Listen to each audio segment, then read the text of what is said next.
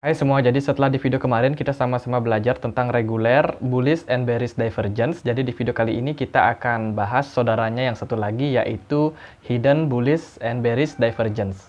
Jadi reguler bullish divergence itu digunakan untuk memprediksi apakah terjadi pembalikan arah dari downtrend ke uptrend. Dan begitu juga dengan reguler bearish divergence itu digunakan untuk memprediksi apakah market sedang berbalik arah dari uptrend ke downtrend. Buat kalian yang ketinggalan videonya bisa cek di kolom deskripsi ya.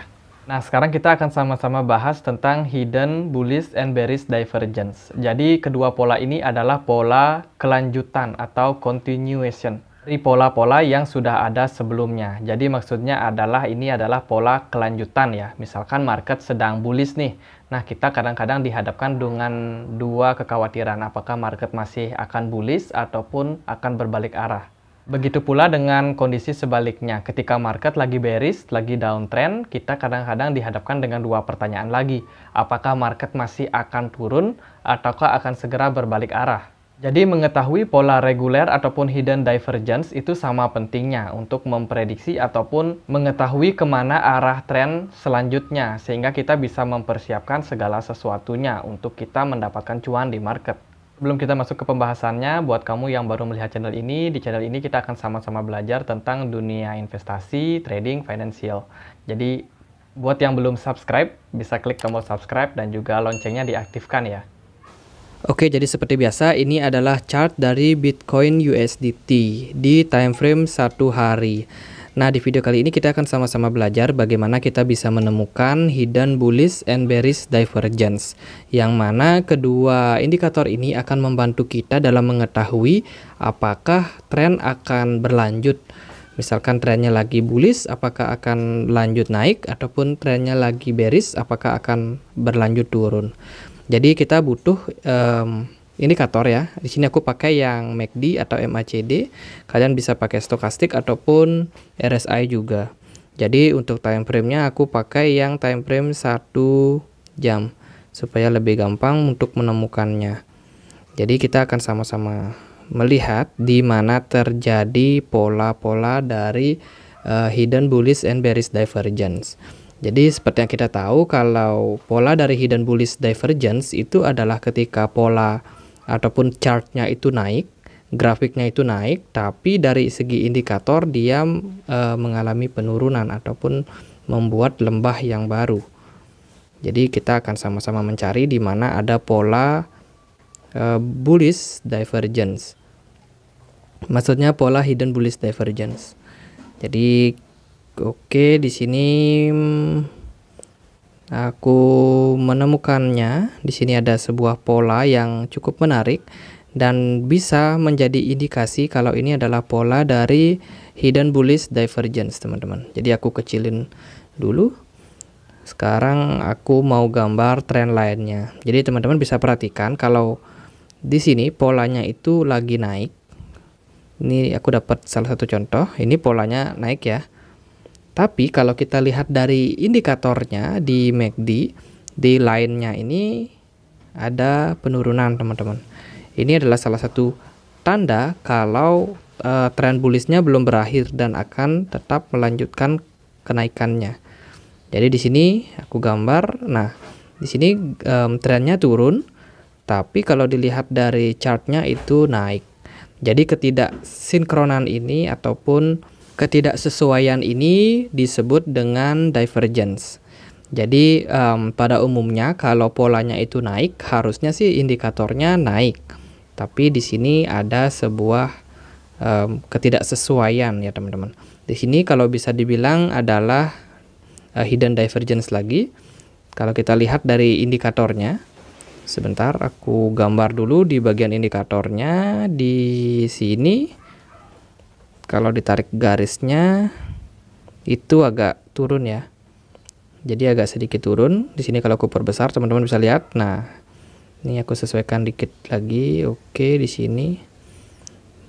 Nah ini polanya um, untuk dari chartnya itu naik tapi dari indikatornya justru mengalami penurunan. Dan ini juga bisa menjadi sinyal kalau tren akan melanjutkan kenaikan. Meskipun di sini itu ada regular divergence ada bearish divergence yang memang terdeteksi. Jadi di video kemarin kita sudah bahas ya di sini ada um, divergence. Kalau teman-teman tahu, setelah itu polanya langsung berubah dari uptrend ke downtrend. Jadi di sini kalau misalkan digambarkan di trendline-nya di sini um, kelewatan sih. Oke, kita gambar dulu. Nah, di sini teman-teman bisa untuk kalau misalkan kalian punya PC atau punya laptop, tablet itu tentunya lebih powerful kalau kalian pakai uh, perangkat tersebut karena bagaimanapun juga akan lebih nyaman untuk melihat. Tapi di sini aku cuma mau uh, tunjukkan aja kalau keterbatasan device atau perangkat itu nggak terlalu menghalangi kita untuk bisa belajar ataupun melakukan analisa. Jadi jangan terlalu berpatokan ataupun uh, berharap lebih dengan perangkat karena meskipun kita dengan perangkat yang minim meskipun kita hanya dengan smartphone biasa tapi kalau kita punya koneksi internet kita bisa melakukan analisa tersebut jadi menggunakan aplikasi TradingView ini yang bisa kalian download gratis di Play Store atau di App Store. Ataupun kalau kalian punya uh, masalah untuk menginstalnya kalian juga bisa gunakan yang versi browser. Hanya saja mungkin kurang nyaman sih dipakai jadi memang lebih nyaman pakai aplikasinya. Jadi di sini teman-teman um, trennya lagi turun, tapi dari indikatornya itu mengalami peningkatan. Dan ini juga bisa disebut sebagai bearish maksudnya hidden bearish divergence atau pola berkelanjutan untuk downtrend lagi. Nah, sekarang kita itu sedang dihadapkan dengan situasi yang agak membingungkan ya. Dan kita sama-sama masih akan bertanya ke manakah arah tren pasar selanjutnya. Jadi ini adalah mm, Bitcoin USDT dan kita sedang sama-sama menunggu nih pola apa yang kira-kira akan terbentuk dari Bitcoin USDT. Jadi aku sempat uh, sharing juga di channel Telegram itu untuk analisaku Bitcoin hari ini dan mungkin akan kita akan sama-sama melihat bagaimana perkembangannya itu sekitar 1 sampai 2 hari ke depan. Apakah Bitcoin akan melanjutkan penurunannya ataupun berbalik arah. Jadi di sini ini adalah zona yang berbahaya ya di resisten yang aku buat di trendline ini. Di sini ada bentuk triangle yang um, bisa mengindikasikan terjadinya pembalikan arah dari downtrend ke uptrend ataupun dari downtrend itu melanjutkan penurunannya.